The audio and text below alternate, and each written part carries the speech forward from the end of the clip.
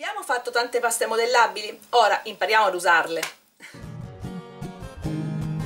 Ma che grigia sta giornata che non vuol finire mai. Carta, forbice e matita, coloriamola un po' noi. Corri, porta i tuoi colori, c'è già ombretta sul canale. Guarda quanti sono gli amici che si incontrano su Arte per te. Questa è arte per te.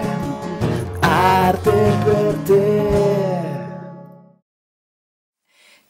tutti e benvenuti da Ombretta su Arte per te.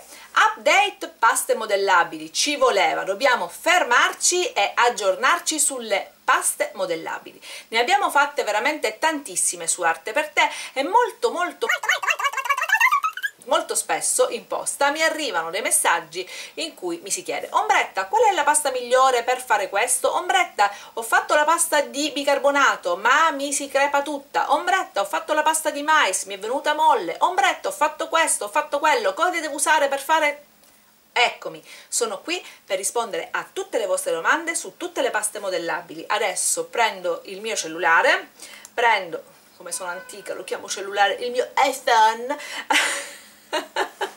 allora prendo il mio cellulare. Apro arte per te sulla home page e clicco qui dove c'è la scrittina playlist. Qui lo vedete? Playlist. Vi si apriranno una serie infinita di playlist tutte qua con tutti i titoli differenti. Voi andate a cercare quella paste modellabili e questa con le mie manine su fondo rosso cliccateci sopra si apriranno tutti i video sulle paste modellabili. E adesso andiamole a studiare una per una pasta di sale. La pasta di sale è una ricetta carinissima che vi ho dato tantissimo tempo fa, una delle mie prime ricette di paste modellabili, di sicura riuscita. Eh, la differenza tra la riuscita o la, non, o la non riuscita con le ricette nelle paste modellabili è sempre una e questa vale per tutta, la densità della colla. Ci sono colle più dense, quindi meno ricche d'acqua, e colle meno dense, più ricche d'acqua e questo fa variare anche se è Vinavil, ma basta cambiare le marche che è una cosa differente insomma. E questo può variare la resa eh, di liquidità o solidità della vostra pasta quello per questo regolatevi ad occhio e aggiungete comunque quando dovete diventare più solide ehm, aggiungete un qualcosa che funga da inerte. Quindi per esempio nella pasta di sale io aggiungerei farina piuttosto che sale perché il sale si scioglie quindi in qualche modo partecipa della fluidità della pasta la pasta di sale si essicca all'aria, potete farla essiccare anche in forno, basta che la mettiate ad una temperatura massimo di 50 gradi e andando a sbirciare, aprendo quindi il forno, molto spesso perché se invece biscotta, se cuoce, eh, vi fa proprio l'elemento biscotto, può essere anche che lieviti un po', quindi non va bene, diventa bruttissima. Potete metterla al sole, non a un sole cocente, quindi non a un sole del mezzogiorno alle 2 ma un sole del mattino può stare. Meglio invece all'aria in un posto asciutto magari anche un po' ventilato. Teme moltissimo l'umidità perché il sale assorbe l'umidità nell'aria e liquefa la pasta. Quindi se abitate in un posto umido scegliete un posto più asciutto per creare per far essiccare le vostre creazioni in pasta di sale. È una pasta che non si adatta molto a um, cose di pregio perché comunque rimane sempre un pochettino grossolana, un pochettino grezza. E quindi sì, bamboline vanno bene, oggettini magari più per la prima infanzia o top di torte, magari questo sì, ma bomboniere raffinate quello no, non è la pasta adatta. Scorriamo ancora la nostra playlist. Se avete domande sulle paste modellabili lasciatemele tutte sotto questo video e io vi risponderò poi abbiamo fatto la pasta di riso. La pasta di riso è una pasta bellissima, fatta con amido di riso. Dove trovare l'amido di riso? È la domanda più frequente per questo video. Allora, l'amido di riso lo potete trovare in alcuni mm, supermercati fornitissimi al reparto dolciumi, al reparto eh, ingredienti per dolci, diciamo così, cake designer e via discorrendo. Se no, lo troverete sicuramente al reparto eh, farmacie. Sapete il reparto eh, dove vendono i sali da bagno, ehm, tutto quel reparto lì, benissimo. Se andate nella parte per i bambini, l'amido di riso è quello con cui si fa il bagno ai bimbi, lo vendono in sacchettoni, certe volte ha un aspetto granulare, altre volte invece ha un aspetto già polverizzato. Bene, ma a voi non interessa che sia granulare o sia polverizzato, perché tanto se è granulare lo mettete nel frullatore con poco, con poco, poco d'acqua tiepida e lui si scioglie immediatamente diventando una pasta fluida. Se invece è eh, già in polvere il problema è bello e fatto. Naturalmente questo tipo di amido costa molto di meno di quello che, um, che, è quello per fare i dolci. La pasta di riso è una pasta molto dura, molto bella, si essicca anche questa all'aria, potete essiccarla anche in forno stando molto attenti, sempre massimo a 40 gradi, controllandolo continuamente, ma io vi consiglio sempre all'aria in un posto fresco e asciutto. Tutte le paste modellabili no, mai, specialmente le paste ricche in amido come la pasta di riso, mai un ritiro veloce, quindi mai vicino a termosifoni, stufe, eh, al forno caldo, assolutamente no, perché l'amido tira a sé le particelle e spacca, cioè crea tensioni differenziate, specialmente se le formine non sono regolari. Per le paste ad amido va detto anche questo, ehm, l'asciugatura, il tipo di essiccazione varia da formina a formina, perché se ci sono delle formine tonde, naturalmente l'essiccazione ehm, avverrà prima sui bordi e poi al centro, quindi sarà un'essiccazione che va a stringere verso il centro. Se invece ci sono delle rientranze, delle sporgenze, differenze.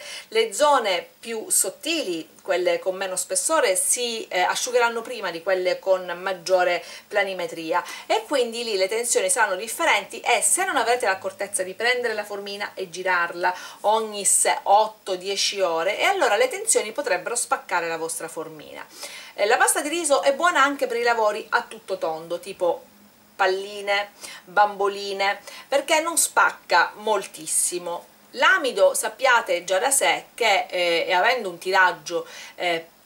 non um, facilmente controllabile, diciamo così, tutto ciò che non è chimico non è facilmente controllabile, potrebbe essere soggetto a spaccature, se ha eh, quindi dei ritiri troppo veloci dovuti a una temperatura alta, se c'è particolarmente caldo, se l'umido presente è esagerato, però a parte le condizioni straordinarie, nell'ordinarietà delle cose la pasta asciuga bene, ci vuole un bel po' di tempo, 8 giorni anche per asciugarsi un oggettino pieno, è un, che ne so, un gattino per esempio, perché naturalmente è un qualcosa di umido, eh, molto pesante, lo, ve ne accorgerete, sono tutte paste con un peso molto, eh, molto importante. E quindi dovete avere soprattutto pazienza e Mm, controllare l'iter di asciugatura perché anche l'asciugatura delle paste modellabili è qualcosa che va sempre attenzionata. Andiamo avanti. La pasta di riso adattissima per piccoli oggettini per bombonierine è molto liscia molto bianca molto dura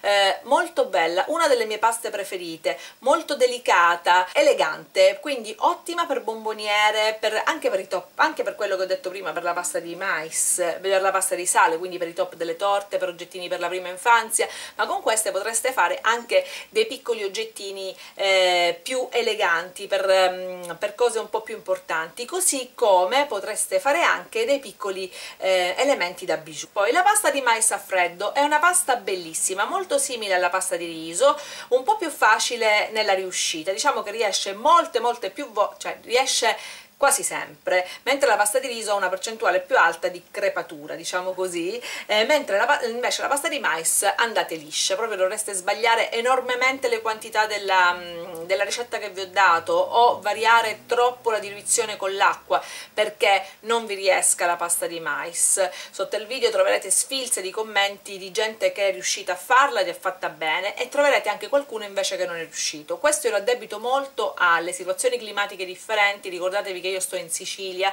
il clima è più asciutto fino adesso insomma, eh, l'umidità è sempre abbastanza controllata e anche questa è una pasta abbastanza adulta, quindi si possono fare degli oggettini che siano più ricercati e più carini, sia tutto tondo che schiacciati. Ora farò anche questa differenza perché c'è una pasta che non è adatta agli oggettini tutto a tutto tondo. La pasta di sabbia, la pasta di sabbia è una pasta divertentissima, la sabbia non si può prendere dalle spiagge, sono stata ampiamente redarguita guida per questo ed è vero, io non lo sapevo sinceramente, però ehm, è vero, quando feci il video non lo sapevo, ora lo so e me ne guardo bene e, ehm, e la pasta di sabbia è una pasta veramente veramente bella, i bambini si divertono soprattutto perché le creazioni che possono fare a mare le possono fare anche in casa sul balcone e poi rimangono stabili a mo' di statuetta. È una pasta molto grezza e sabbiosa naturalmente, anche se diventa in pasta, e dà un effetto quasi scultoreo, quindi può essere usata sia per lavoretti di bambini, che ne so, volete fare un castello di sabbia perenne, con quello lo potete fare,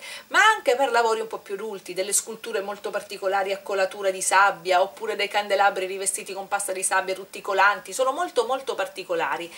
indistruttibile, non ve la toglierete più di casa, diventano delle bombe materiche queste cose che durano un'eternità. Accortezza, va bene, la sabbia dove si compra? La si compra in tutti i negozi di, per, che vendono materiali per la costruzione, dove vendono quindi la calce, dove vendono gli inerti, c'è anche la sabbia, potete scegliere anche la granulometria differente, eh, vengono cose bellissime, usatela e divertitevi e fate divertire soprattutto i vostri bambini con questa sabbia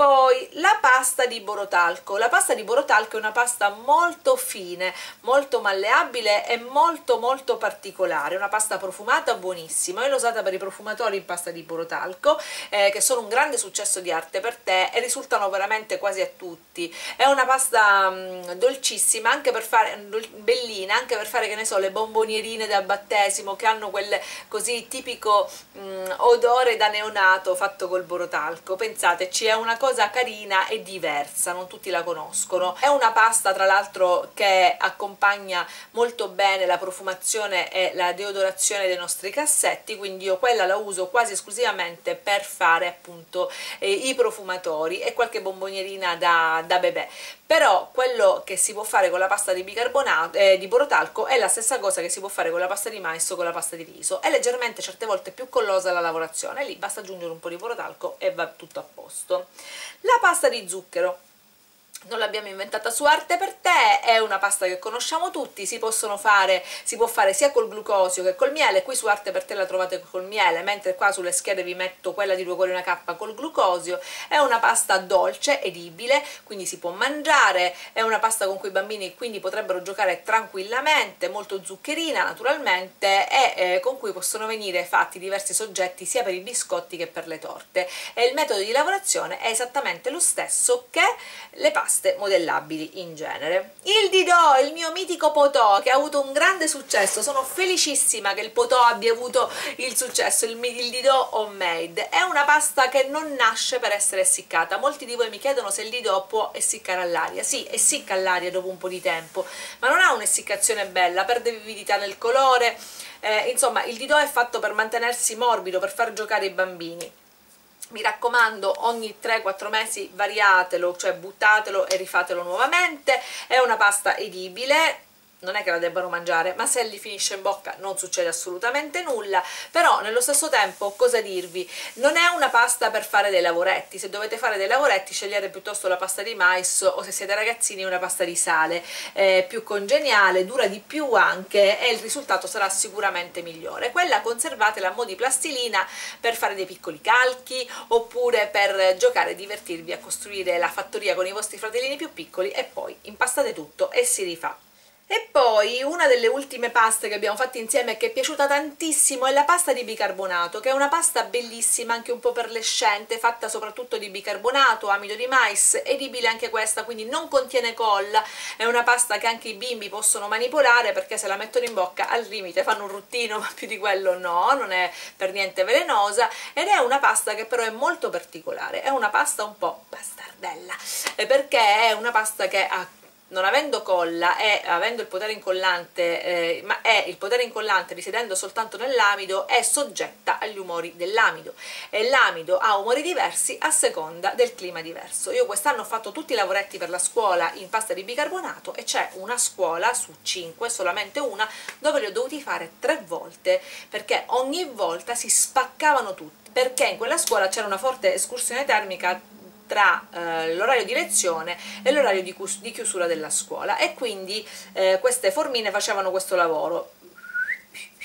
E si sgretolavano tutte quante Diciamo subito che la pasta di bicarbonato è una bellissima pasta, ma è una bellissima pasta idonea per soggetti schiacciati, quindi medaglioni, medaglioni per l'albero di Natale, medaglioni per mm, scrapbooking, quindi decorazioni per i nostri lavori scrapbooking, eh, decorazioni per il cartonaggio, decorazioni per i quadretti, decorazioni per le cornici, decorazioni per quello che vi pare, l'importante è che siano schiacciate, devono avere uno spessore massimo di mezzo centimetro, massimo perché sennò dopo il tiraggio diventa davvero difficile e spacca. Altra cosa fondamentale della pasta di bicarbonato è che va la formina una volta fatta girata più e più volte nel corso della sua essiccazione, quindi ogni 8 ore dovete prendere e rigirarla e lasciarla asciugare non su fogli umidi, non su cartone, non su foglio di giornale, ma su un piano in formica, su un piano in silicone, un qualcosa che comunque non trattenga l'umido ma lo faccia evaporare, perché se rimane umido residuo sotto la formina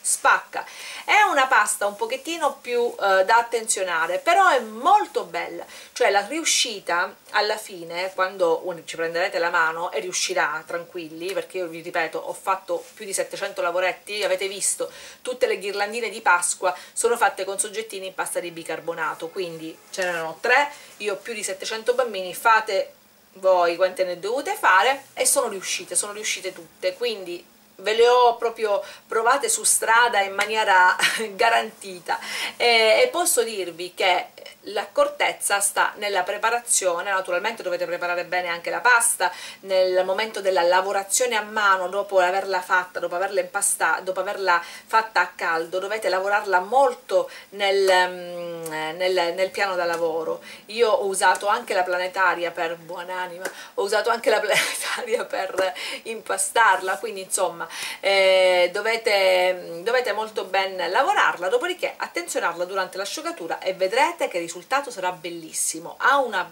ha un biancore e una perlescenza che nessun'altra pasta modellabile ha, quindi lo sforzo è giustificato dalla bellezza del risultato finale. La pasta di balsamo è una pasta modellabile che si essicca all'aria, anche questa, è una pasta profumata, anche questa, ed è una pasta divertimento come la chiamo io, è una pasta adatta più ai bambini, ai ragazzini, non è una pasta adulta, nel senso non ci farei dei lavoretti, oddio se volete farli fateli, è una pasta abbastanza morbida, fluida, ehm, sottile anche come texture, però non è che vengano delle cose mh, eccezionali, anche perché molto spesso si affloscia, cade su se stessa, quindi se non avete un giusto grado di durezza della pasta è un po' difficile da lavorare. E stessa cosa è anche per la pasta di farina. Anche la pasta di farina è una pasta che è eh, dedicata più che altro alla manipolazione alla creazione di oggettini da parte dei ragazzini e dei bambini. Non sono paste adulte sono paste un pochettino più giocose. Per passare dei pomeriggi divertiti insieme ai nostri piccoli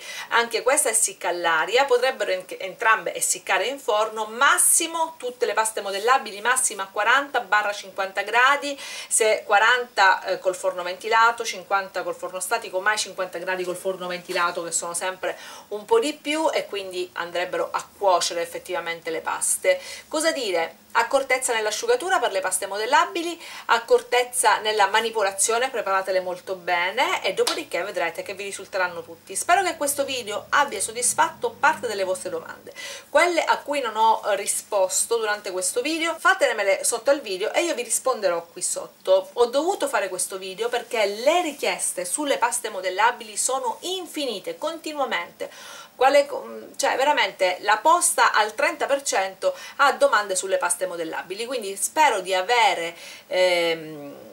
risolto quelli che sono i vostri interrogativi, spero che questo video vi abbia interessato, se è così fatemi un bel pollice in su con qualunque delle vostre paste modellabili preferite, condividete questo video sulle vostre pagine Facebook. E io vi aspetto sempre su tutti i miei social, Facebook, Instagram, il blog, vi lascio il link qua sotto. E sempre sempre sempre su 2 quelli una K, il link invece lo trovate qua sopra. Bene, io vi aspetto numerosissimi come sempre al prossimo video, da Ombretta ed Arte per te è tutto, arrivederci, ciao alla prossima!